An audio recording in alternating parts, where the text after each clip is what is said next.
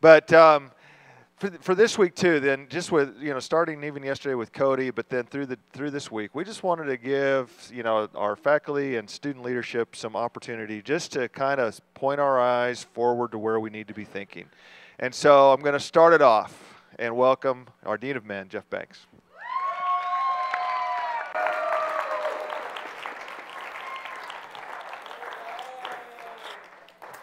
Good morning. It's so good to be with you. Uh, let's just pray. Let's do that.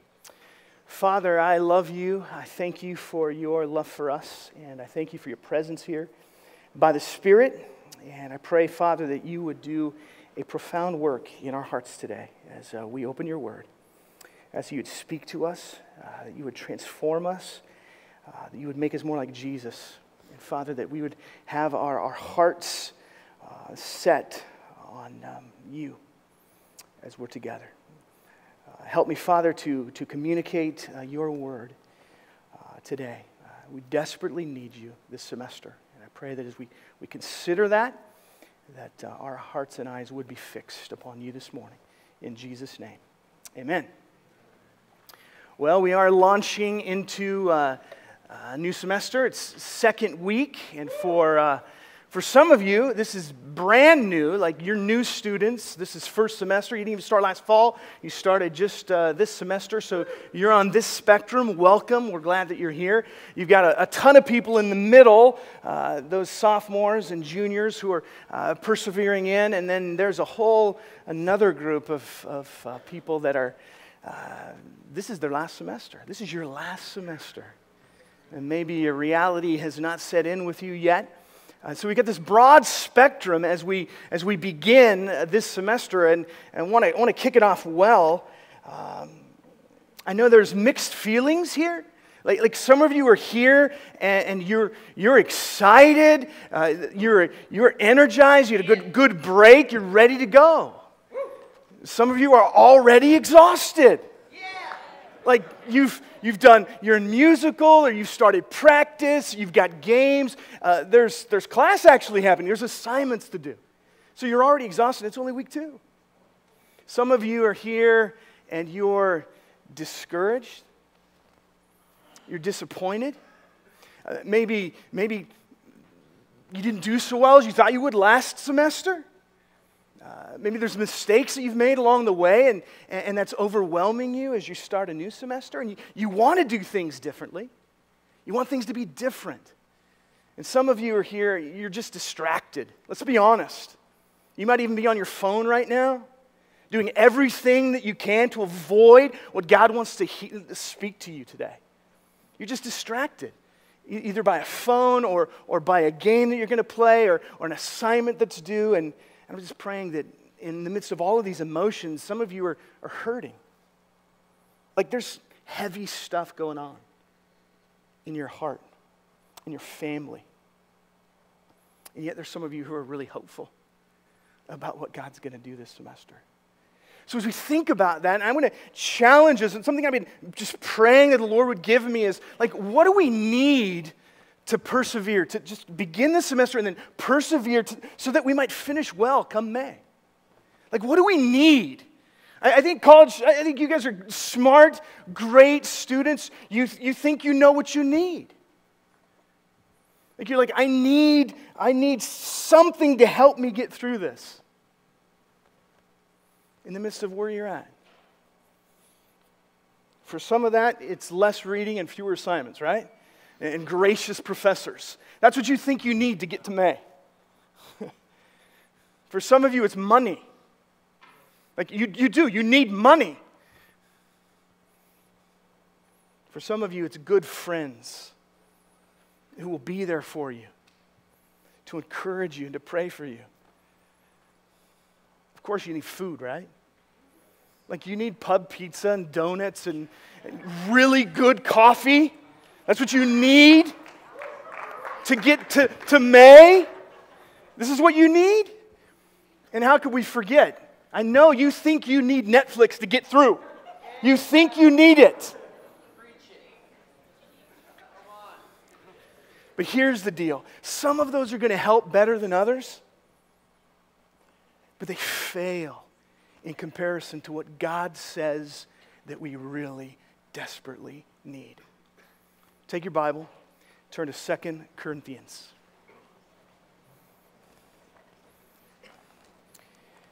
Second Corinthians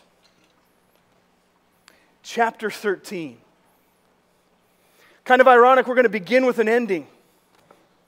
Because what we find in 2 Corinthians 13, last chapter, last verse, one of the great benedictions of the New Testament. A benediction is just a blessing. So we're going to begin with a, blessing because in this benediction, we find what we truly need to endure and to get to May. And not just end the semester, this is what we need all the days of our life. So here it is 2 Corinthians 13 14. May the grace of the Lord Jesus Christ and the love of God and the fellowship of the Holy Spirit be with you all. Man, just simple, sweet, kind of straight to the point. Paul wraps up this letter to Corinthians, Corinthians uh, these Christians in the city of, of Corinth. And he gets done and, he's, and he gives us this benediction. He wants these Christians to be blessed. And I, what, I, what I love about this, I mean, just a couple of observations about it. Notice the, the, the triune nature of the, of the blessing. I mean, he mentions Jesus the Son, God the Father, and the fellowship of the Holy Spirit. I, I love that uh, about this the, the mystery and the beauty of the Trinity and who God is. And, and I love Paul's heart in this because he says this to a church that he had a pretty rough time with. If you remember the Corinthian church, they, they had all kinds of chaos, division, uh, sexual sin, and they questioned his authority, and they gave him a really hard time. And yet, at the end of the book, he's able to say, What I want for all of these Christians is that the grace of Jesus and the love of God and the fellowship of the Holy Spirit would be with them. And so, this is what we truly need. That, that we need this as well. So, what you really need, what we need, what every student, every faculty, every staff needs, first and foremost, is the grace of Jesus Christ. This is what we need to endure. Let's think about the grace of Jesus. Paul is uh, has been transformed by grace. Paul's all about grace. You read his letters in the New Testament, and actually, this phrase, this benediction, he uses three times here in Corinthians, Philippians, Philemon. But in, in the beginning of his letters, at the close of his letters, you always hear him introducing and using words like peace and mercy and love and always grace, because that man was transformed by the grace of God a man that would persecute and kill Christians, transformed by Jesus and the grace bestowed upon him. Till he became one of the greatest proclaimers of the grace of God that we know. It's this grace, his, his unmerited favor, his incredible kindness to give us what we don't deserve, and that the best display of his grace, obviously, is the work that he's done for us. I love earlier in this book in 2 Corinthians 8, he was teaching the Corinthians about giving. He was trying to motivate them to give, to take up some, an offering, to give to some struggling Christians in Jerusalem. And he says, For you know the grace of Jesus, that while he was rich, yet for your sakes he became poor, so that through his poverty you might become rich. And he's just using that as motivation to say that Jesus his grace ultimately displayed that he would leave the heavens, the riches, the glory, come to earth, go to the cross, and pay for our sin in full once and for all. It's his matchless grace that we desperately need as we look at this semester. I mean, if the Corinthians need that grace, I need that grace. All of us need that grace. Because here's the deal there's going to day, a day's coming very soon this semester where all you're going to have and the only thing that's going to support you is the grace of God extended to you in Jesus. We very much have been saved by grace, are being saved by grace, and will be saved by grace. And so, on these days when your flesh gives into temptation and you stumble, it's the grace of God that's going to save and sustain you. It's the grace of God that on those days when you, when you go further than you thought you'd ever go, when, when you compromise your integrity, when you say, This is the last time I'm going to look at that image on that screen, it's the grace of God that's going to help you persevere. It's by His grace and His grace alone. We desperately need it.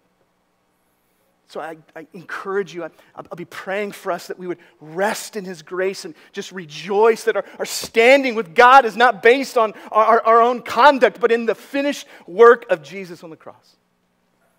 This is the grace that we need so that we'll persevere and endure to May. What's the second one? It's the love of God. And the, the triune nature of this is God the Father. The, the Father's love. We need, we need the grace of Jesus. We also need the Father's love. Some of you, you've had hard, hard past. And rarely have you felt loved. By maybe a, a parent, a friend, and here, as he's speaking to the Corinthians, and he said, he's praying this blessing of grace and love over them. He said that God's unconditional love and affection for them, which was the motivation to save us in the first place, right? We, we can quote, quote John 3.16. For God so loved the world that he did what? He gave his only begotten son. So it's, it's God's love that's motivated us to, to save and reconcile us to Himself, and it's what we need now, every day. Like you need to experience His love, and it's what you're going to experience. I believe what God wants to, to lavish upon you that's going to help you endure. Think about God's love and, and our need for that. Because Maybe you've never been loved that way. Maybe you're here questioning God's love for you. Like, how could God love someone like me in the midst of all that I've done in the past? Why would He love me so? You know what? There's some really good news in the Bible because there, there's, a, there's just His love that is everlasting and unrelenting in His pursuit of us and his desire to have a relationship with us. And he wants us to experience his love. It's what we need. So I hope this will remind you uh, of his love and the reality of that, that it's everlasting, it's unrelenting, because here's the deal. We, we tend to think that God's scorecarding us. And so, like, when we're doing really well, uh, uh you know, we're, we're being really faithful, God's love increases for us. Like we think that way. But when we forsake Him, uh, He loves us less. And so, so we can think that He's scorecarding us. And I'm a dad, and I have two sons. And when they fail to honor me, it, when, when that's happened in the past, I didn't ever decrease in my love for them. My love never waned. How much more well, the love of our Heavenly Father, not wane. And it'll be poured out on us. Like it says in 1 John 3 How great is the love that the Father has lavished upon us that we might become children of God. We might be called His child. So He's going to love you regardless of the decisions you make. He's going to pursue you with His love. Now, now let, me, let me also add the Father's love isn't blind. Because Hebrews 12 teaches us that when we run far from Him, He will discipline. He's a loving Father, and He'll discipline because He wants to draw us back. His love is, is amazing and unrelenting and everlasting. And, and there's going to come days this semester where you're going to be hurting, discouraged, and it's His love that's going to flood your heart. It's His love that is going to sustain you, just as His grace is. So it's the, the grace of Jesus is what we need, the love of the Father, the Father's love. And there it is, the last one the, the fellowship of the Holy Spirit. This is what we need to endure. The fellowship of the Holy Spirit. Paul wanted they, these believers in Corinth to experience a fellowship, a communion, a close relationship, knitted together, a deep association. And we can think of that in one way. We think, is he speaking of fellowship with the Spirit? And certainly that's a reality of the Christian life, of, of our relationship with God through the Spirit. But here, it's more likely he's speaking of the fellowship that they would have with one another that comes only from the Holy Spirit that is producing that in them because of their bond in Christ and faith. That the church, that Christians have a fellowship like no other that comes from the Holy Spirit. And this is pretty, this fits the context well. Remember, Corinthians, it's a church that's divided. It's, it's a church that's having issues, and they need to, to have fellowship, one another by the power of the Holy Spirit that would work within them.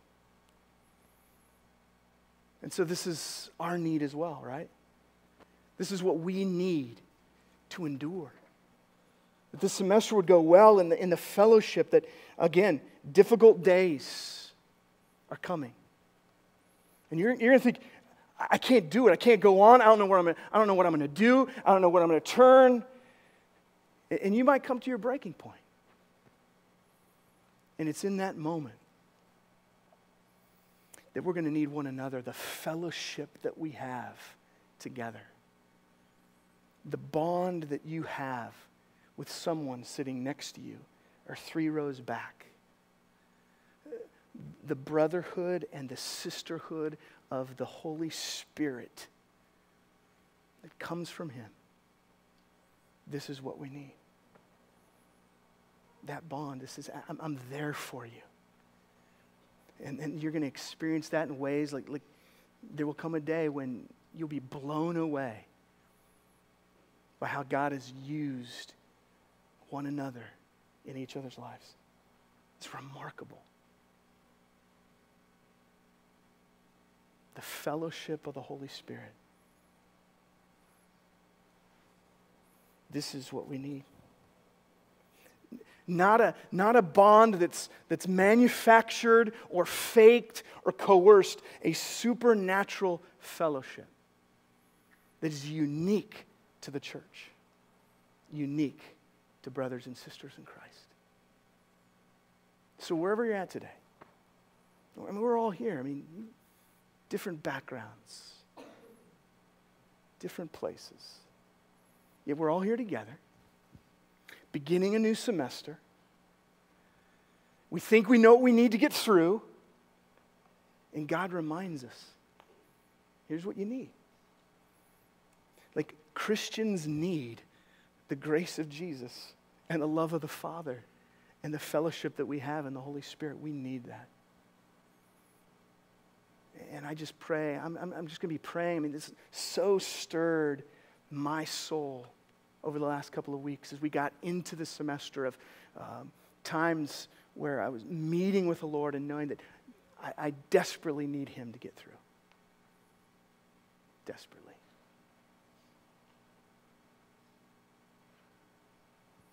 So, would you please stand? I want to end. I want to end with the blessing that, that Paul gave the, the Corinthians. It's a blessing that, that my pastor gives us at the end of every service. Because despite what we think we need, here's what we need. This is what's going to help us to persevere and finish well in May.